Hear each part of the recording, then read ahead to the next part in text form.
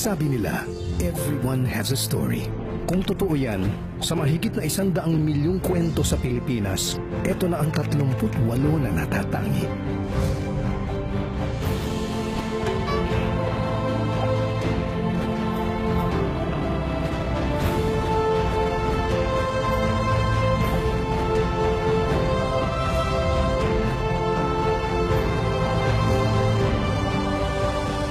Sine Filipino 2016, kwento pa rin ang hari.